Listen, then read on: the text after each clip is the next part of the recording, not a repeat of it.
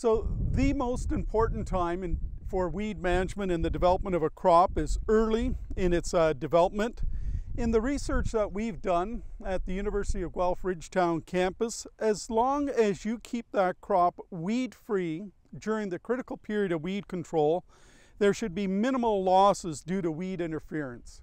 In the research that we've done in corn, as long as corn is kept weed free from the time it emerges up to the six leaf stage of corn or up to the V4, V5 stage of corn, there will be no yield losses due to weed interference.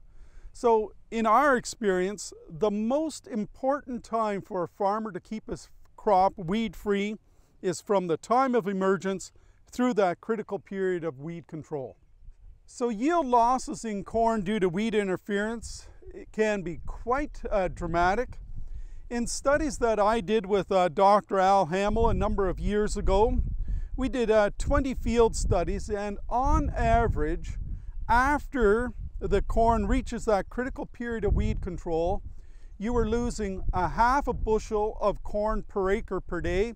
So if corn sells for $4 a bushel, that means for every day that you delayed the application of your herbicide, you were losing uh, $2 per acre per day.